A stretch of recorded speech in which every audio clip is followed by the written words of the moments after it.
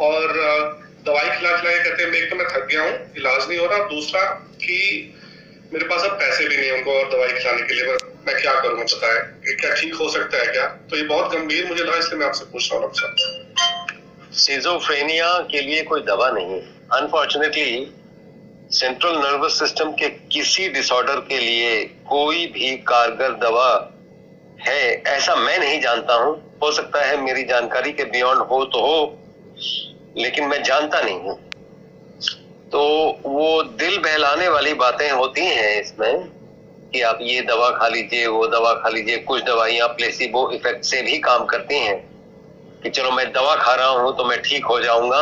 ये thought process ही ठीक कर देता है पेशेंट को। दवा कितनी कारगर है, कितनी नहीं है, क्या साइंस है उसके पीछे मैं उसमें नहीं जाना चाहूँगा, लेकिन मैं रेटरेट करूँगा सीजोफ्रेनिया के लिए।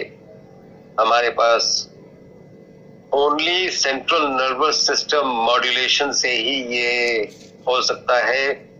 कोई deep down inside the brain कुछ ऐसी बातें बैठ गई हैं, उनको निकालना पड़ेगा, उसको रिग्रेशन थेरेपी कहते हैं। और इसमें बहुत हेल्प करता है nitric oxide nitric oxide producing things and nitric oxide कैसे प्रोड्यूस होता है, वो हार्ट अटैक में भी काम करेगा, इसलिए इसको आज बताना ज़रूरी है और इसी तरह से आदमी हार्ट अटैक प्रूफ होता है।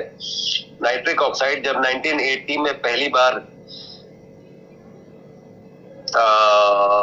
ईडीआरएफ के नाम से नोबेल प्राइज मिला था, क्योंकि उस समय आइडेंटिफाइड नहीं था ये, कि ये क्या चीज़ है। EDRF endothelium dilatation relaxing factor no endothelium derived relaxing factor EDRF लेकिन आठ साल में उसी नोबेल प्राइज विनर को ये मिल गया कि ये नाइट्रिक ऑक्साइड है तो फिर नोबेल प्राइज मिला, क्योंकि ये इतना इंपॉर्टेंट डिस्कवरी थी। और नाइट्रिक ऑक्साइड एंडोथेलियम एक सिर्फ़ सिंगल लाइनिंग होता है internal lining of all vessels of the body चाहे वो ब्रेन का वेसल हो, चाहे वो हार्ट का हो, चाहे वो किडनी का हो, चाहे वो लंग्स का हो, चाहे वो मसल्स का हो एंडोथेलियम को इंटैक्ट रखना बहुत ज़रूरी है, जिसके चलते हम अगर वसा युक्त भोजन fat is not bad for the body but fat when heated is poisonous and it disrupts the endothelium.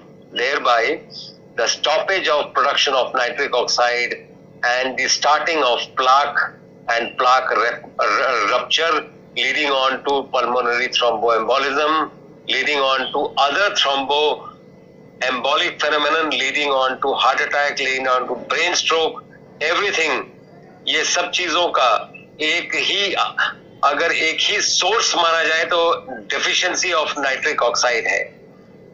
तो मैं इससे ज़्यादा ओवर एम्फोसाइज क्या कर सकता हूँ? और नाइट्रिक ऑक्साइड आपके साठ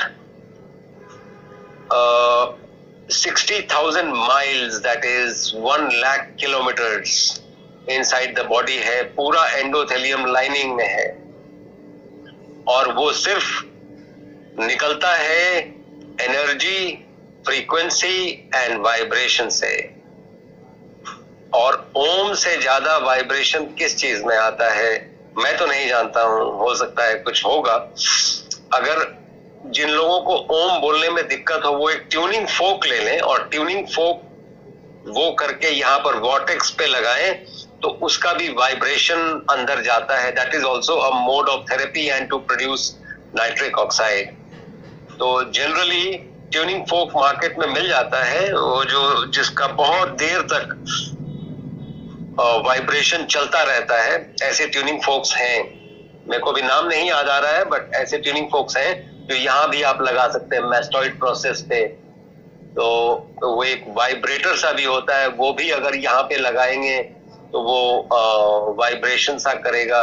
एक और भी मशीन आती है जिसके ऊपर आप खड़े हो जाए तो वाइब्रेट करने लगता है। उसमें स्पिक्यूल्स होते हैं, जैसे एक्यूप्रेशर वाले तो वो भी वाइब्रेट करता है तो वो भी आपको, आपके, आप कोई भी चीज़ में आपको वाइब्रेट करना पड़ेगा। आप देखिए, सनातन में हम लोग भजन करते थे और यूँ करते थे, ये सब वाइब्रेशन के तरीके हैं और ये सब नाइट्रिक ऑक्साइड जनरेट करने के तरीके हैं फील गुड फैक्टर्स के तरीके हैं, जिससे डिप्रेशन से लेके सीजोफ्रेनिया तक और माइल्ड चेस्ट पेन से हार्ट अटैक तक प्रिवेंट किया जा सकता है। अगर हम ठीक से नाइट्रिक ऑक्साइड और नाइट्रिक ऑक्साइड का संचालन बॉडी में करें द इजिएस्ट शॉर्टकट वे है नाइट्रिक ऑक्साइड जनरेट करने का, अदरक खाना। अदरक आप अगर कच्चा अदरक खा लें तो वो इमीडिएटली आँख में पानी आ जाता है। या मिर्ची खा लें, क्योंकि इस बार का नोबेल प्राइज भी पेपराजीन रिसेप्टर्स पे मिला है। तो मिर्ची भी आप अगर खा लेंगे तो भी वही इफ़ेक्ट होता है। Ultimately what happens is nitric oxide is produce in a very large amount and this is cardio protective this is cerebral protective तो स्ट्रोक भी नहीं होगा और हार्ट अटैक भी प्रिवेंट हो जाएगा। और वैसे भी विंटर में you should never eat after five thirty six o'clock when your sun sets तो एक रूल ये बनाना चाहिए कि you should get up 90 minutes before sunrise and you should stop eating before sunset maybe 30 minutes before sunset you should stop eating तो ये nitric oxide के साथ साथ जो विटामिन डी का जो संचार है पूरी बॉडी में, क्या ऐसा कोई ऑर्गन मुझे नहीं मालूम है जहाँ पर विटामिन डी का vitamin D is not a vitamin it's a hormone ऐसा कोई ऑर्गन मुझे नहीं मालूम है जहाँ पर विटामिन डी का इफ़ेक्ट नहीं होता है। बहुत बढ़िया डॉक्टर साहब। थैंक यू सो मच तो दोस्तों इसके बारे में मैं थोड़ा सा कमेंट ये ऐड करूँगा कि मैंने स्पिरिचुअलिटी पे एक सीरीज़ स्टार्ट की है हर सैटरडे को आता है और कुछ मंदिर, उत्तरांचल के कुछ मंदिरों की भी मैं शेयर करा रहा हूँ आपको। जो डॉक्टर ने अभी वाइटामिन डी और सोने का उठने की बात की ना तो इट इज़ वेरी फैसिनेटिंग कि जो हमारी दो आँखें हैं it's part of the brain actually part of the brain brain में इसको पुश करके बाहर निकाला कि आँखों से हम ज़्यादा चीज़ों को विजुलाइज करके अपनी ज़िंदगी को सेफ़ बना सकते हैं। जो हमारी जो, हमारा जो ब्रेन उसका मेन काम है कि हमारी ज़िंदगी को सेफ़ बना के रखना है। अब जो डॉक्टर पांडे ने अभी बात की, बड़ी इंपॉर्टेंट की सोने का, उठने का टाइम का क्योंकि जो आँखें हैं, ये परसीव करती है लाइट और लाइट यही चीज़ है कि सब कुछ जो सर्केडियन रिदम है, इस पर मैंने एक वीडियो बनाई है सर्केडियन रिदम का लेके ये आँखें उसके हिसाब से काम करती हैं। तो इसलिए बहुत ज़रूरी है, सुबह जो ब्रह्म मुहूर्त का टाइम बोला गया, सब सब एक रीजन है, सब साइंटिफिक रीजन है। सो एक चीज़ वो हो गया। दूसरी चीज़ डॉक्टर साहब ने अभी बोला भी था कि फैट ट्रांस फैट तो उस पर भी मैंने भी एक तेल की वीडियो बनाई है, वो ज़रूर देखें। और नाइट्रिक ऑक्साइड पे बहुत ही इंपॉर्टेंट मैंने वीडियो बनाई है, वो जाके पूरा देखिए आप लोग। और इसलिए मैं दो मिनट बीच में इंटरप्ट कर रहा हूँ, क्योंकि इस मेरे चैनल पे ऑलरेडी मैंने बहुत सारी वीडियोस बनाई हैं, जो कि अगर आप देखेंगे। मैंने यंग लड़के का बताया था तो वैभव प्रताप सिंह है। तो वो बोल रहे हैं, मेरा ट्रीटमेंट ऑलरेडी चल रहा है medicine Mirnite 15 milligram and Ventab DXT 25 milligram ले रहा हूँ। तो वो कह रहे हैं कि ऑलरेडी ये दवाई मेरा डिप्रेशन का चल रहा है। तो वो ये पूछे डॉक्टर साहब, कि योग कौन सा करना चाहिए, ये डिप्रेशन में? किस तरह का योग करना चाहिए? एक चीज़ होती है गट ब्रेन कनेक्शन जो वेगस नर्व से स्टिमुलेट होता है। और जितने भी हैप्पी हॉर्मोन्स हैं ब्रेन के, इंसान को ज़्यादा मालूम नहीं है, लेकिन जितना इंसान को मालूम है, वो चार हॉर्मोन्स है डोज कहते हैं इसको। डोपामीन ऑक्सीटोसिन सेरोटोनिन और एंडोर्फिन्स तो ये चार हमारे ख्याल से चार ट्रिलियन होंगे, लेकिन इंसान को मालूम सिर्फ़ चार ही हैं। तो अगर यही चारों पे काबू पा लिया जाए तो वो एक गाना था ना, जहाँ चार यार मिल जाए, वहीं रात हो गुलजार। उसी तरह ये चार यार अगर मिल जाते हैं तो डिप्रेशन से लेके सिजोफ्रेनिया तक आप काबू पा सकते हैं इस पे। तो एक समझने वाली बात यह है कि ये सभी हॉर्मोन्स ब्रेन में नहीं बनते हैं। ये हमें बहुत थोड़े दिन पहले पता चला है। कोई बहुत सालों से हम ऐसा जानते थे, ऐसा नहीं ये बनते गट में है। इसीलिए गट को सेकंड ब्रेन कहा जाता है।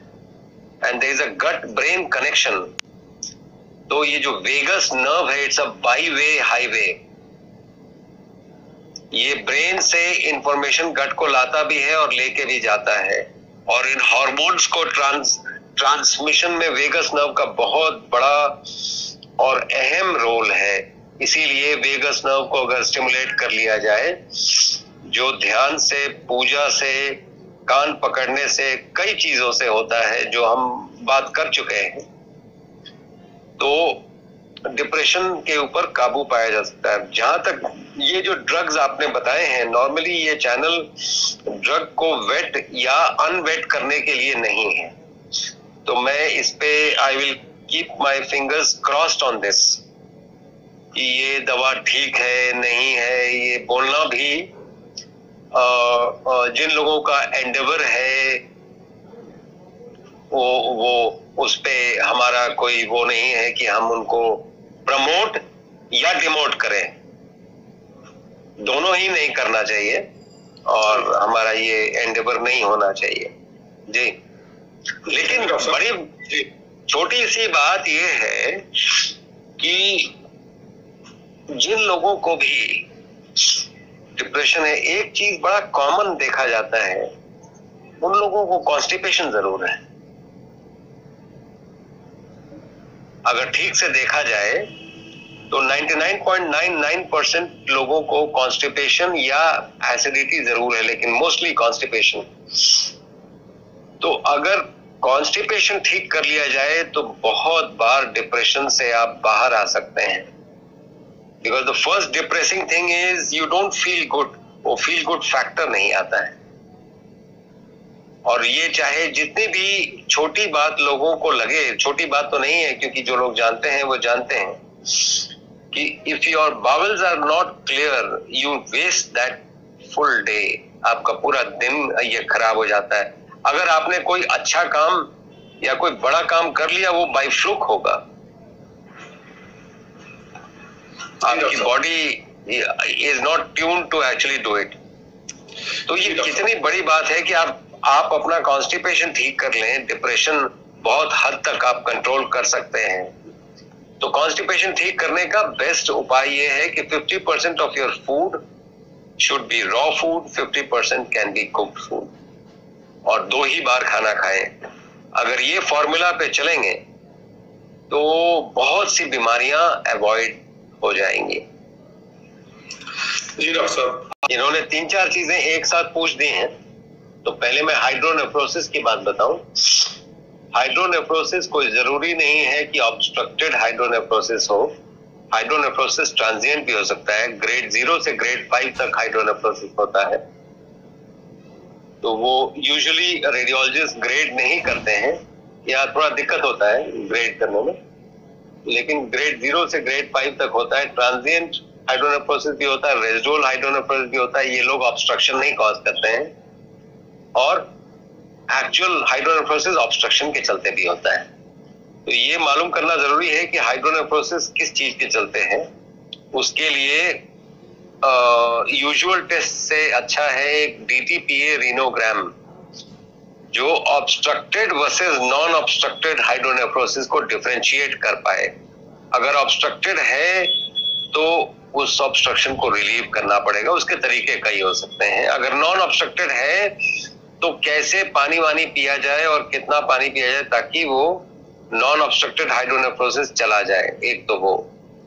दूसरा ये है कि जो बोल रहे थे, ये डाइजेशन की बात जो बोल रहे थे, अगर एक एवरेज एडल्ट पाँच लीटर पानी पिए ल्यूक वार्म पानी तो मैं नहीं समझता हूँ कि 99 परसेंट लोगों को ये प्रॉब्लम हो रहेगी क्योंकि मोशंस बहुत ठीक ठाक हो भी जाएँगे और, डाइजेस्टिव सिस्टम ठीक हो जाएगा।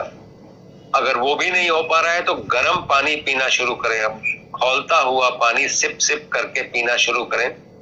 That also relieve a lot of things in fact depression के लिए भी ये बहुत कारगर उपाय है। लेकिन गर्म चाय और गर्म पानी एक ही बात नहीं होती है। गर्म चाय में चीनी और दूध होता है जो इन्फ्लोमेशन कॉज करते हैं। अवॉइड करें उसको। एंड गर्म पानी पिए। गर्म पानी मतलब बिल्कुल खोलता हुआ चाय जैसा पानी, जो मैं अभी पी रहा था। तो उससे सर्दी भी जाती है।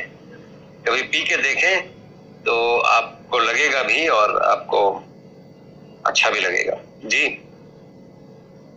कर रहे थे नॉर्मली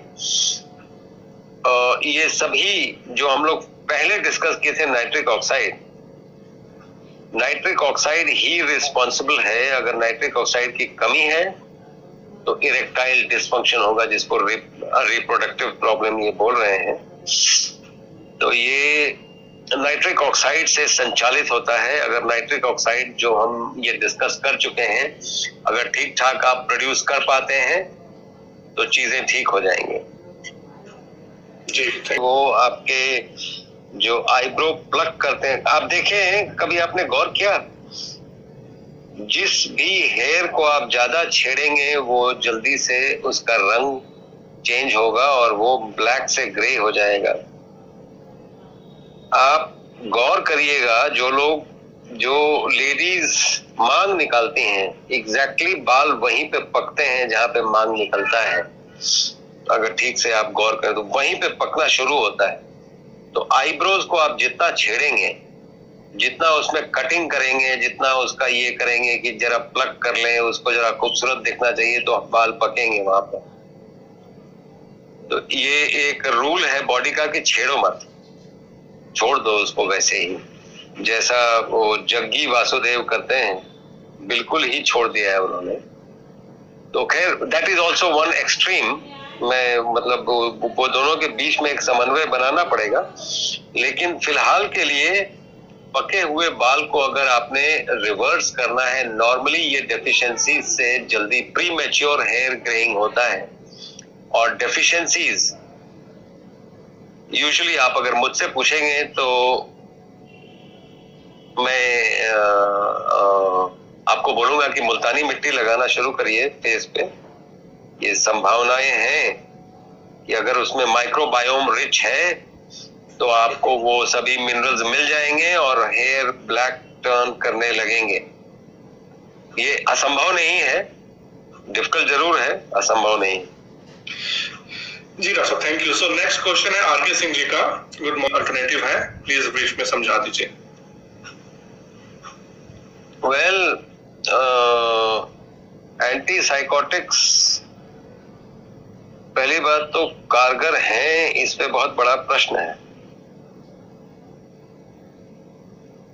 तो उसके ऑल्टरनेटिव्स फिर कोई दवा के चक्कर में हम जाएँ, वो ठीक नहीं है।